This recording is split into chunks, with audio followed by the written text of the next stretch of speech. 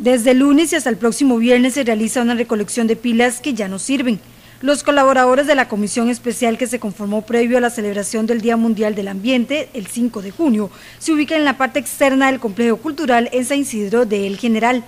Dependiendo la cantidad de pilas que usted lleve, así recibirá algunos premios. De una a cinco pilas recibirán una taza o lapicero.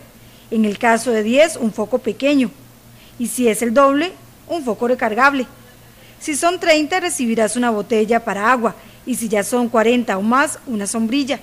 Ellos se encuentran de 8 de la mañana a 4 de la tarde. Lo que buscamos es recoger pilas, que son los residuos más peligrosos que hay por lo que contaminan y que muchas veces no sabemos dónde llevarlos, entonces incentivar a la población a que las traigan aquí, las dejen y en lugar de eso les entregamos algún presente que lo que tiene es como motivar a la gente que por cada vez que se recicle o se recoja algo, entonces que vengan y más que todo lo básico es tratar de, darle un manejo adecuado a las pilas que muchas veces la gente no sabe que son de las cosas o de los materiales que más contaminan en lo que son las, los mantos acuíferos que están subterráneos. Para el viernes también estarán recibiendo otro tipo de materiales como electrónicos. Aparte de baterías vamos a recibir todos los materiales de reciclaje, ya sea papel, latas, eh, desechos, electrónicos y todo lo que haya en las casas de las personas. O sea, van a haber más, más personas acá entonces. Sí, vamos a tener más puestos de, ya con dos toldos y todo para que la gente se acerque y nos dejen los materiales de reciclaje.